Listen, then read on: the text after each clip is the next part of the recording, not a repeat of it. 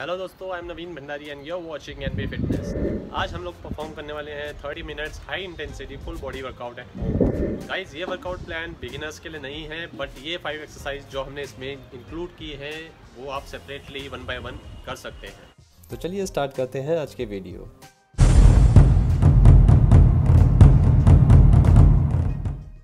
Guys हमें इन five exercises को कंटिन्यू परफॉर्म करना है।